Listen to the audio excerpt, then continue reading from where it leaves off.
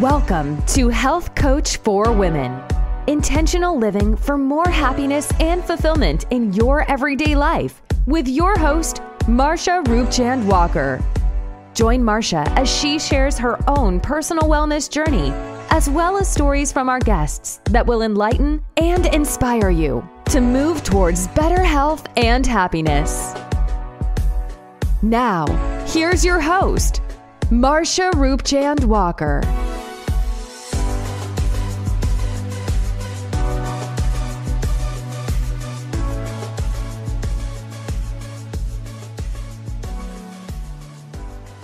Hello, and welcome to another episode of Health Coach for Women. Today, I'd like to talk to you about ages. And what do I mean by ages? Okay, when I'm referring to ages, I'm referring to advanced glycation end products. What exactly is that?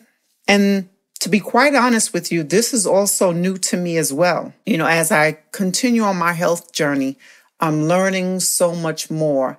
And it's really amazing on what you can learn. And when you learn and understand how the body works and how food uh, plays a major role in our health, um, that it just becomes this life mission, right? And so that's what it's done for me. So, um, advanced glycation end products, right? So these are proteins that becomes glycated, right? And so when I say glycated, uh, it's something that occurs when we uh, cook our food at high temperatures. And and what what it, what it does it it it's what gives us the food that dark brown color that we notice when we fry our foods, hamburgers, bacon, whatever, right? And so that's what that's what that's what's happening. Uh, the the food becomes glycated, and as an exposure uh, to sugars, right? And so what happens is sugar, proteins, as well as f- fats create these ages, right? It creates it, which accounts for chronic diseases as well as inflammation, uh, the aging process, and the complications with diabetes. diabetes. And they've also found it in my research, um, looking at different uh, articles and journals and from doctors speaking who's, who's been studying this that is also linked and related to uh, cancer patients uh, as well as Alzheimer's disease. Okay, and so now age age does occur naturally within the body because most cells utilize glucose uh, in the body as well as amino acids and fats and what it's what's it's used for energy right? And so it it needs that. And through this chemical pro- process uh, within the body, uh, the end product, the byproduct of that uh, is ages, right? It's it's what forms naturally in the body. So age, uh, age, uh, adverse glycation end products, they they are reversible when ages are kept at a minimal level and when they're kept at bay, right? And so what happens is if we look at our diet now, what, what my research, what they did say uh, was that glucose is a key player when it comes to ages, right? And so our diet is very important. And so we need to make uh, our diet uh, very, we have to follow a diet. We have to create a diet um, that's we have to improve our diet, right? So we have to find a way to improve our diet um, by keeping these things at bay. Now, what happens is it, it accumulates over a lifetime, right? And I've also found this out too over, over time. It accumulates in the body and it stays. And what happens if, in our diet, if we produce an overproduction of it, which comes from um, in our in our bodies, right, from uh, from eating those foods, uh, rich in fried foods, right, refined sugars, and things like that. What happens, it, it, it's an overproduction and it becomes irreversible. And this is how we get the chronic disease as well as inflammation and what have you. So what are some of the things that we can do to kind of manage our production of AGE, AGEs in the body? Um, we can start by, like I said, by um, changing our diet, right? And so I know that you don't want to, you know, you, you don't want to give up fried foods and things like that. And I totally get it, right? And so, but let's modify that. Let's uh, let's lower our consumption. So instead of having fried foods, um, I don't know how often you may have fried foods, but instead of having it, you know, several times a week, let's cut it down to maybe once out of the week, right? Let's let's start by doing that. But we have to we have to again take control of our health, and we can't leave it to others to be responsible for our own health and well-being, right? And so we have to uh, make our diet, uh, taking control of our diet and our health a priority. And one of the ways of doing that, again, is managing that by avoiding fried foods. You want to try steaming your vegetables, right? Steaming or boiling your food, right? And so it, it may not be for everyone, right? To do that with some things, um, but we can find ways. Now, what was surprising to me was even dry heat. So even baking things in an oven produces these AGEs, which was so I'm like, wait a minute. It was so surprising for me because I'm like, you know, I prefer to bake my food rather than fry it. So that was information found to me that I found, you know, um, quite interesting. So it's the high heat that produces these AGEs. It's that high heat in, um, that is that's created that causes that uh, protein, that combination of them producing, coming together, and coming up with this end product. This is what naturally happens in the body, and when we cook in our food, there's a chemical process going on as as the food is being prepared through high heat. So these proteins and, and lipids and things and all they're combining together, making this compound. And the end product of that, the byproduct of that is the AGEs. So what else can we do?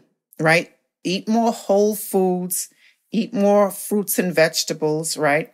Consume more complex carbs, right? I talked about complex carbs before, you know, uh, oats, you know, not um, the quick instant oats that you buy, you know, just your regular oats that you would cook if you're going to have like oatmeal or something like that. Um, brown rice, right? Brown rice over white rice, right? Sweet potatoes, whole wheat bread, right? Quinoa, kidney beans, right? I love kidney beans. Um, whole wheat pasta, pumpkin, um, multigrain cereals, green peas, couscous.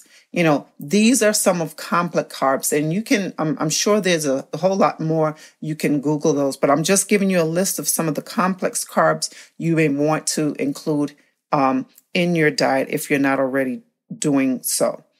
And, and also keeping a low glycemic index, index right? Having a, a low glycemic index uh, when you're eating your food and to keeping regulating your blood sugar Remember, I talked about that before on, on, on the, another episode where we talked about regulating our blood sugar. And so, some low glycemic index foods, uh, there's a ranking scale, um, or the ranking scale, it can go from zero to 55, which these foods in that low glycemic index would be fo- foods such as almonds, chickpeas, cherries, raw carrots, uh, coconut, cucumber, which is great, great to put in your salad, eggs, uh, hummus, which comes from chickpeas, lentils, mango, uh, olives, uh, fresh pineapple, plums, prunes, basmati rice, spinach, strawberries, sunflower seeds, tomatoes, and yams. And those are in the low uh, glycemic, in, ranked eight between, um, excuse me, between, let's get my words together, low glycemic index foods ranked from 0 to 55. And so we have the medium glycemic index foods, which range from 56 to 69. And these foods include cooked beets, whole grain bread, corn, honey, honeydew, melons, oatmeal, papaya. Now, what you should know now, I talked to you before, mentioned before about the main production in agriculture, right? Where they use genetically modified foods are corn and sugar. Also, papaya. Also, papaya is also, uh, if you're taking supplements on papaya, papaya is very good for you, but you definitely want it, if you're going to have fresh vegetables, if with fresh papaya, you definitely want organic. Okay, because papaya supplements, uh, if it doesn't say non GMO, more than likely it's been genetically modified as well. So you just have to take the time to read the food labels. Um, and I know there's things that you, uh, things that you may not even understand, right? You can't even pronounce it. And so that should tell you something in itself, right? There's, I mean, there's many food products with so many different names for sugars. Uh, and there's there's dyes, you know, food coloring. You know, I talked about all of that before. So again, keep, keeping a low glycemic uh, index, um, as well as uh, complex carbs, is one of the ways that we could try to manage that. In addition to healthy habits of walking, right, doing our exercise, you know, um, doing some of the some of the things that we need to do for ourselves, right? And let's pay attention to our bodies, right? Pay attention. Our bodies know when there's something wrong. So if you notice maybe, you know, there's something going on with your stomach and and and you know, it's something is a little off, you find that you're more gassy than usual, or you notice that you have more pain or you or you're going through some type of something going on in your GI tract and you and you have maybe irritable bowel syndrome, you know, all of these things uh, can link back to uh, what we're eating, right? The foods that we're eating. And another good thing that you can do, I mentioned the slow heat cooking, maybe getting a slow pressure cooker, one of those pressure cookers. Um, you may want to consider fasting, right? And so, what fasting does, as I mentioned before, fasting helps to detoxify the body, right? Or you can try eating one meal a day.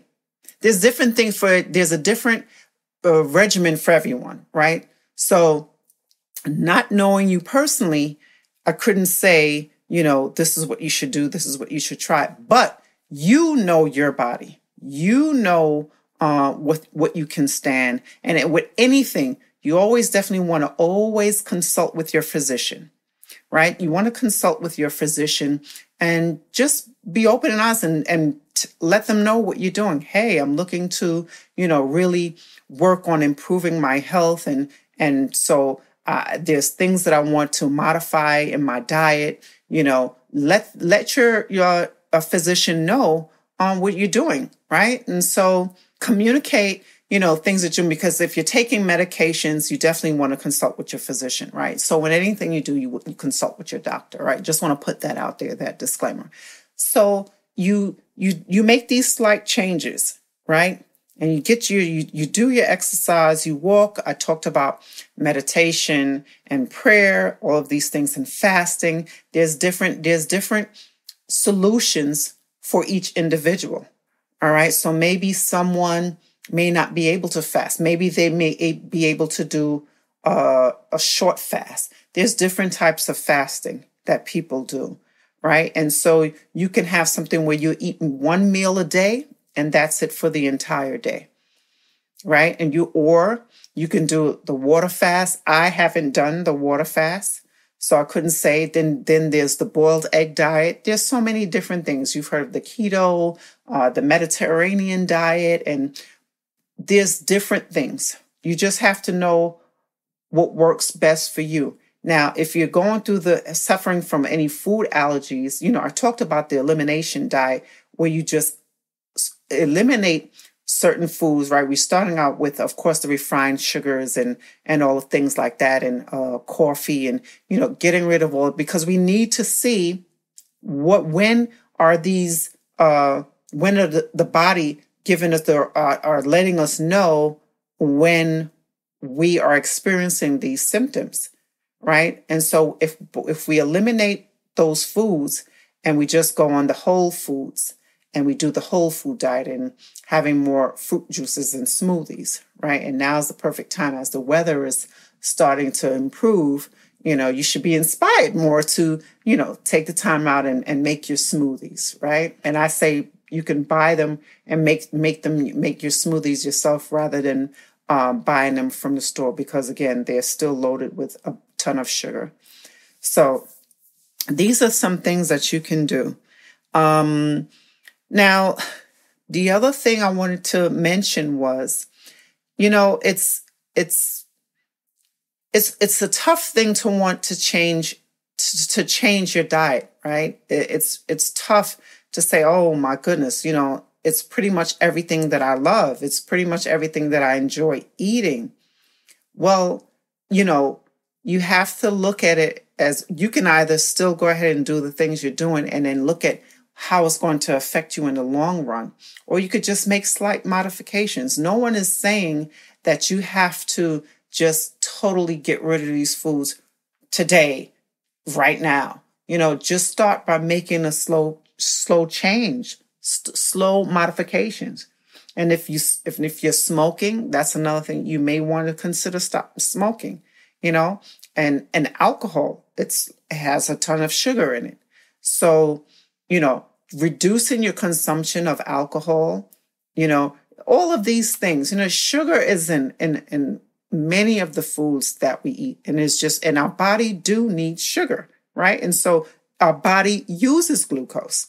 Our body do use it's what we use to have energy. It's what give us energy. But too much of anything isn't good, right? Too much of anything isn't good. And so we already know that it's the foods that is the major cause for uh, chronic illnesses and disease. We know that. And so how we prepare our food matters. How we prepare our food matters. So instead of having maybe the fried fish, you know, and boy, and I have to say this with myself, you know, I enjoy baking salmon. So how else would I? We have to find, there has to be some way. So I guess if you can find a way to, because again, this is new for me as well, you know, learning about these AGEs and, um, and we can't prevent every single thing, right? And we all know as long as we are alive, we will age. It's part of the, it's part of life. As long as we're alive and breathing, we will age. And as we age, our bodies produce less hormones, right, as we age. And it's just a natural occurring thing that happens. But while we are here and still alive, let's make the best of it and in doing more and better for ourselves to improve our health. Right. And so let's just start doing those things. Now, what I was saying was about salmon. I like to bake my salmon. Right. And so will I stop baking salmon if I have it uh, once a week? Probably not because, or um, even if I prepare it on a stove, maybe I will stew my salmon, right? Maybe I will go ahead and stew on my salmon on a low flame, right? Or low flame because I, I was always thought that baking was better. So that's something new for me as well. So we can do things like that, maybe slow, slow cooking off food to a low heat. Um, and again, I mentioned about the slow cooker. Let again include as much fruits and vegetables in your diet as possible. Include as many the greens, the spinach, the kale, uh, baby spinach. You know, I love having baby spinach in my salad. Um, kale, you know, the spring mix salad. You know, iceberg lettuce has no nutritional value. So when you purchase the salads that you get from McDonald's, it has no nutritional value right? And so you want to have something like the romaine lettuce, you know, some um, healthier, healthier choices, healthier foods. Look for organic, you know, look for organically uh, produced food. Now, even with that, right? And so that would be another topic. I, I can go into telling you about uh, the different labels on organic if it's 100% organic. And just to tell you this, if it doesn't say 100% organic, it's probably not. It has, it probably has more organic materials than not. Um, but if it doesn't say 100% organic, uh, then it probably isn't. Labels foods that says non-GMO or GMO verified, those are more of the choices that I tend to go with when I'm when I'm doing my shopping, when I'm gro- doing my grocery shopping. So let's just be more mindful of these things. Let's be more mindful in how we select food, how we choose food, how we prepare food, how we even look at food, right? And and some people say, "Man, I love food." And I will be the first one to tell you, that is me. I love food. But again, we have to look at food as it's a source of us uh, giving us the energy which we need. It's also pleasurable when it tastes good, the flavor is good, right? But it has to be where we are making these mindful choices and choosing, deciding to refrain from certain foods that we know uh, is not good for us, right? We have to refrain from those uh, foods, you know. And even if even if you're doing it several days a week, I say progress is better than no progress, right? Progress is better than no progress. Start somewhere. It it's it could be difficult. It could be challenging, and, and I know that. But the only way to do better is to be better, and that's by taking action and doing what you need to do for your health. You know, and I guess for me, it's so, um, you know, working in the healthcare field and, and, and being around the geriatric, geriatric uh, p- patients, you know, uh, in the nursing home, in the facilities, um, just seeing the decline, right? And it's a reminder, and it's it's pretty terrible, and and sometimes I have to, you know, I feel so bad. I don't know what else to say. I try my best to like, you know, lift their spirits or give them a nice laugh or even tell them something about myself, right? And um, to let them know, you know, hey, you're not alone, right? And and you matter. And so when you and and, and they talk about uh, you know, oh, it's no fun getting old, you know, and being old is just, you know, and sometimes and sometimes they say they're just ready to go. They're just ready to check out. And it's pretty sad, you know, it's pretty sad where you're in a place maybe where you don't really particularly care to be. Uh, and um, and you're in this state of where you're not you're no longer able to do for yourself right? You're no longer able to do for yourself. You don't know when you're having a bm right? A bowel movement. You don't know when you're incontinent and you uh, void on yourself. You don't know these things right? And and and not only that when you're not with it mentally right when you you don't even know where you are, you're uh, confused. And this is the decline of the brain. And it's really sad. So, you know, and I look at that and say, you know what? You know, if I live that long, one day, you know, this will be me. So I'm doing everything in my power now to do the best I can um, to have better health, to have longer life of uh, brain health, right? and be able to still move around. And you have some people who are a hundred years old and more, and they're still able to walk and move around, and they're still mentally with it. So I always ask them, you know, what's your secret? You know, and they don't particularly have one. They probably said, you know, I, I was busy. I, I, I walked I walked around a lot, or or even I, I did a volunteer work, you know, something like that. Um, and just some and uh, again everyone's metabolism is different. And so we just have to do the best we can with what we know. And that's why for me i'm giving this information providing you this information that you will take heed and make modifications um, make slow changes and, and and and live more with that intention of being healthier right and, and happier of course but being healthier and having more energy, right? And and combating that depression, um, uh, staying away from those foods that deplete our energy, right? And zaps and takes us away, for, uh, takes our energy away. Uh, we need to be mindful of those things. So it's the foods that we eat, you know. Um, let's be more mindful of that and do the best we can. Again, perfection is an illusion, right? So let's let's strive for being better, not perfect. Thank you so much. That's all I have for you on today's episode. Thank you so much for listening in. Until next time, bye for now. Thank you so much for listening to Health Coach for Women with your host, Marsha Roopchand Walker. If you've enjoyed this podcast, please be sure to rate, subscribe, and review on your preferred podcast listening platform. We really appreciate that effort. Until next time.